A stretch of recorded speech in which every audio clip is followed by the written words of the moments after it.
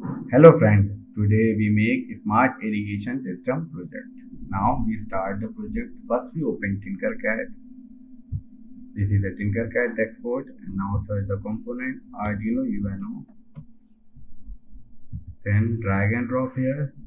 Another I search soil moisture sensor.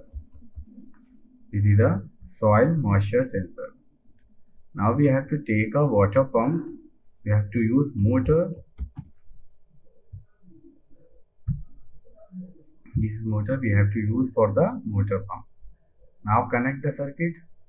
First pin is power pin connect to the power of the arduino means 5 volt of the arduino. I have connected the 5 volt put the black and second terminal is the ground terminal connect to the negative of the arduino. This is the negative terminal connect to the negative. This is a negative then we have to use black. This is a positive then we have to make a color red. Now this is a signal pin connect to the any digital pin. I have connect to the 3 pin of the Arduino. Change the color also yellow. And now the connect to the water pump in any terminal you have to connect any digital pin. Any terminal connect to any digital pin. And second terminal of the motor connect to the ground of the Arduino. This is the ground pin. Now circuit is completed. Make a code click on the code and delete this code. And first we have to create variable create variable soil moisture sensor. We have to use underscore, don't use space in two words. Soil moisture underscore sensor. Then click. You can see there is three block is generated. We have to take soil moisture sensor and go to the input block.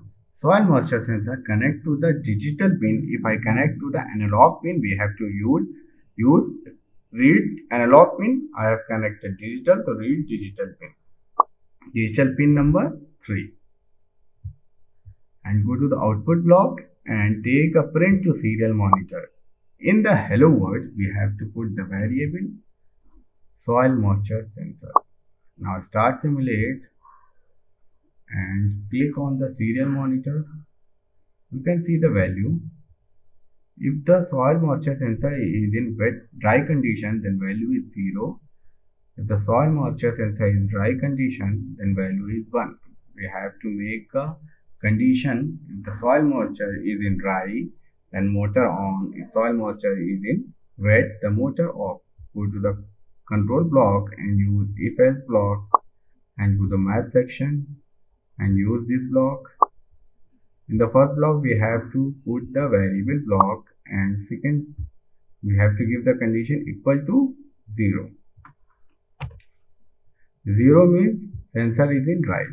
Go to the output, take a print, another set pin. Now, motor is connected to the 9 pin, put the 9 and high. Here we connect the 9 and here we put the low. If condition execute, then motor 9 pin is high. If condition not execute, 9 pin is low. Now start simulate. You can see motor is operating and serial monitor is value 0. I have also put the value 0. If sensor is in wet, dry condition. When I sensor is in wet condition, motor automatically off.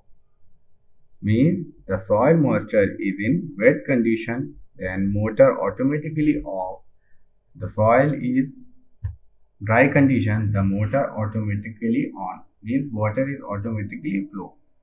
If not flowing, then sensor is in wet condition. Now stop it and go to the block plus text. You can see this is a text code. You can copy it and use in the hardware.